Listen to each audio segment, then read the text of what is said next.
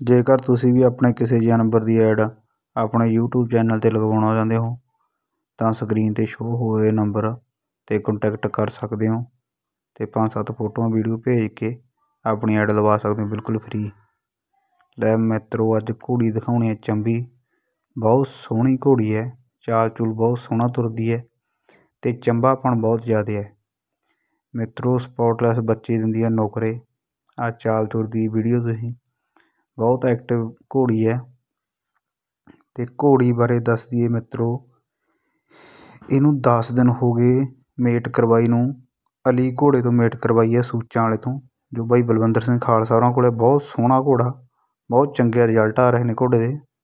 ਬਹੁਤ ਵਧੀਆ ਇਨਸਾਨ ਨੇ ਬਾਈ ਬਲਵਿੰਦਰ ਸਿੰਘ ਹੋਰੀ। ਅਤੇ ਉਹ ਘੋੜੇ ਤੋਂ ਇਹ ਮੇਟ ਹੈ। ਆਪ ਵੀ ਬਹੁਤ ਖੂਬਸੂਰਤ ਘੋੜਾ ਅਤੇ ਘੋੜੀ ਦੀ ਉਮਰ ਹੈਗੀ ਆ ਮਿੱਤਰੋ ਸੱਤ ਸਾਲ। ਅਤੇ ਸੱਠ ਪਲੱਸ ਹਾਈਟ ਦੀ ਘੋੜੀ ਹੈ।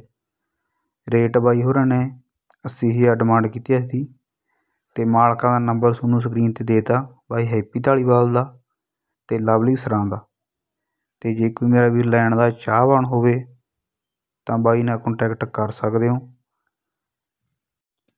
ਅਤੇ ਪਿੰਡ ਬਾਈ ਹੋਰਾਂ ਦਾ ਹੈਗਾ ਚੌਕੇ, ਜ਼ਿਲ੍ਹਾ ਬਠਿੰਡਾ। ਬਹੁਤ ਸੋਹਣੀ ਘੋੜੀ ਆ ਮਿੱਤਰੋ, ਜੇ ਕਿਸੇ ਮੇਰੇ ਵੀਰ ਨੇ ਬੱਚਿਆਂ ਵਾਸਤੇ ਲੈਣੀ ਆ। ਬਹੁਤ ਸੋਹਣੇ ਬੱਚੇ ਦਿੰਦੀ ਹੈ। ਚਾਲ ਚੂਲ ਬਹੁਤ ਸੋਹਣਾ ਤੁਰਦੀ ਹੈ ਅਤੇ ਬਾਕੀ ਤੁਸੀਂ ਚੌਕੇ ਪਿੰਡ ਵਿੱਚ ਜਾ ਕੇ ਆਪਦੀ ਅੱਖ ਨਾਲ ਘੋੜੀ ਨੂੰ ਦੇਖ ਕੇ ਤਸੱਲੀ ਕਰਕੇ ਘੋੜੀ ਖਰੀਦ ਸਕਦੇ ਹੋ।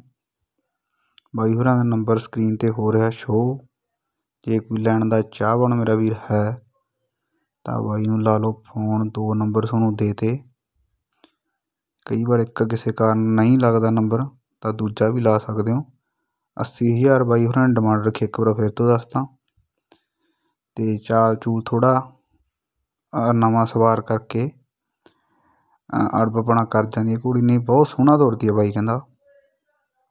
ਕੰਨਾਂ ਕੁੰਨਾਂ ਦੀ ਸ਼ਕੀਨ ਆ ਪੂਰੀ। ਤੁਸੀਂ ਦੇਖ ਹੀ ਸਕਦੇ ਹੋ ਵੀਡੀਓ ਦੇ ਵਿੱਚ।